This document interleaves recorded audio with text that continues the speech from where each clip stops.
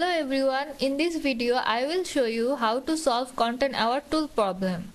First I open an image and then if I want to use content aware tool then I have to go to edit and see the content aware is color in gray and I cannot use this because the layer I have selected is locked. I cannot use content aware tool in locked layer so I have to unlock it by clicking it. Then if I go to edit and see can use content aware scale tool. But if I want to set my image in this canvas then see what happens. I just pick the image and just drag it and click this and now when I want to use this content aware tool see this is again gray in color and I cannot use this. I cannot use content aware tool because this is replaced in smart object and content aware tool cannot use in smart object. You have to right click it and rasterize layer. And then see the content aware scale is selected. If you want to use content aware scale then you have to go to edit. You can click it and just press shift and drag it. If you want to increase both sides together press shift and alt